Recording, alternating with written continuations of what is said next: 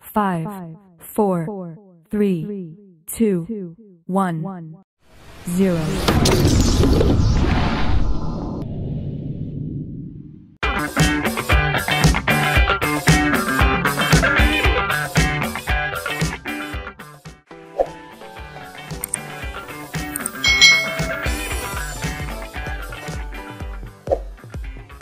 Hai hai hai Selamat datang di channel youtube Kak Citra Apa kabarnya adik-adik semuanya?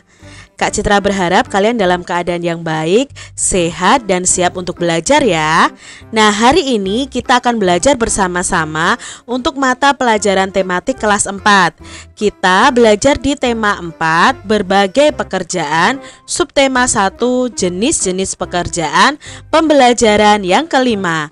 Mari adik-adik kita belajar dengan penuh semangat. Banyak cara yang dilakukan oleh pelukis untuk mencari inspirasi. Salah satunya adalah dengan mengamati kegiatan dan peristiwa yang terjadi dalam kehidupan sehari-hari. Nah, adik-adik, ada jenis pekerjaan yaitu pelukis. Nah, pelukis itu sebelum melukis biasanya mencari inspirasi untuk bahan lukisannya. Nah, salah satunya itu bisa dilakukan dengan cara mengamati kegiatan atau peristiwa yang terjadi dalam kehidupan sehari-hari. Ayo adik-adik, siapa di antara kalian yang ingin menjadi pelukis? Ya mungkin ada yang ingin menjadi pelukis atau ingin menjadi yang lain ya adik-adik ya. Mungkin ada yang ingin menjadi dokter, polisi, dan lain sebagainya. Amati berbagai pekerjaan yang kamu temukan di lingkungan sekolahmu. Lalu tuliskan jenis pekerjaan beserta kegiatan yang terkait dengan pekerjaan tersebut pada tabel berikut ini. Adik-adik bisa mengamati e, lingkungan sekolah, bisa mengamati lingkungan rumah kalian, lalu tuliskan jenis pekerjaannya apa dan kegiatannya apa. Nah, kalian bisa tuliskan seperti di tabel ini, misalnya oh jenis pekerjaannya adalah guru, kegiatannya mengajar. Ada jenis pekerjaan penjaga sekolah. Oh, kegiatannya membersihkan lingkungan sekolah, menjaga keamanan lingkungan sekolah. Nah, di sini Kak Citra punya contoh yang bisa kalian lihat adik-adik. Uh, di lingkungan sekolah misalnya ada kepala sekolah. Kepala sekolah itu tugasnya menyusun kurikulum, kalender pendidikan dan kegiatan pembelajaran, memantau sekolah seperti itu. Lalu di sekolah itu biasanya juga ada tenaga administrasi itu untuk mengurus administrasi di sekolah. Lalu ada jenis pekerjaan sebagai petugas perpustakaan. Nah, itu tugasnya apa kegiatannya? Melayani siswa dan guru yang berkunjung ke perpustakaan. Mungkin kalian bisa sebutkan yang lain, misalnya dokter. Oh, dokter itu kegiatannya uh, memeriksa pasien dan memberikan pengobatan kepada pasien. Itu mungkin pekerjaan yang ada di sekitar kalian adik-adik. Jadi kalian bisa sebutkan ya macam-macam atau jenis-jenis pekerjaan yang ada di lingkungan kalian masing-masing. Pilihlah salah satu pekerjaan berdasarkan tabel di atas. Nah, kalian bisa memilih uh, satu pekerjaan yang kalian tuliskan tadi. Kemudian kalian bisa gambarkan pekerjaan tersebut beserta kegiatan terkaitnya. Nah, di sini kalian belajar menggambarnya adik-adik. Misalnya kalian tadi menyebutkan dokter.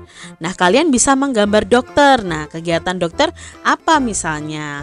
Lalu kalian kalau me nulis misalnya pilot. Nah, mungkin di sekitar kalian ada tetangga kalian yang menjadi pilot. Kalian bisa menggambar pilot dan lain sebagainya ya adik-adik. Misalnya kalau guru ya gambar guru yang sedang mengajar. Boleh adik-adik. Kalian gambar ya di buku gambar kalian masing-masing.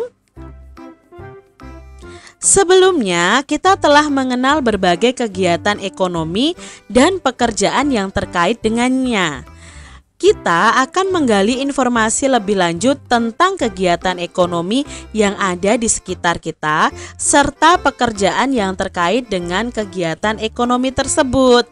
Nah, di sini Menggali informasi dari berbagai sumber adalah salah satu cara untuk mengetahui sesuatu secara lebih lengkap adik-adik.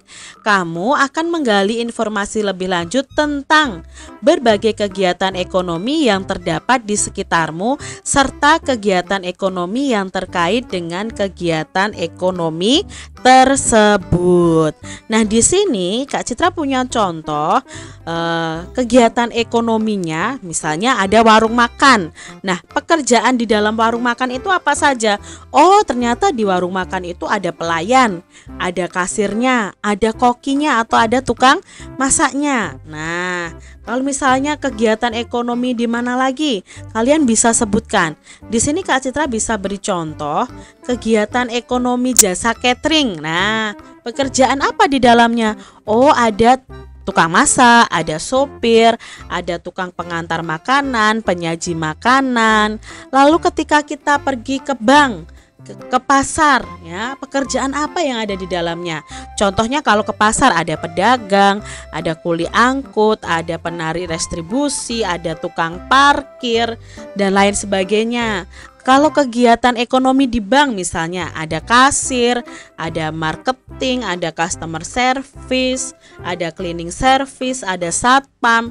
Jadi ternyata e, di tempat-tempat ekonomi, kegiatan ekonomi berlangsung itu ada pekerjaan di dalamnya. Ada lagi di sini kegiatan ekonomi di pabrik sepatu. Nah, pekerjaan apa yang ada di pabrik sepatu? Misalnya orang yang menjadi quality control. Quality control itu apa tuh Kak Citra? Quality control itu orang yang e, menguji apakah kualitas dari sepatu itu bagus atau tidak adik-adik. Lalu di dalamnya ada karyawan, ada satpam, ada tukang parkir dan lain sebagainya. Kalian bisa sebutkan kegiatan ekonomi misalnya di mall, di terminal misalnya Kak Citra bisa Kak Citra bisa. Nah, pekerjaan kalau di terminal apa? Oh, ada sopir, ada pedagang dan lain sebagainya. Demikian tadi adik-adik pembahasan kita di mata pelajaran tematik kelas 4, tema 4, subtema 1, pembelajaran yang kelima. Semoga video pembelajaran ini bermanfaat ya untuk adik-adik semuanya dan sampai jumpa lagi di video pembelajaran Kak Citra selanjutnya.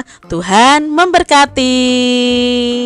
Jangan lupa tekan tombol subscribe, lalu tekan loncengnya, tekan juga tombol like lalu share ke media sosial kalian.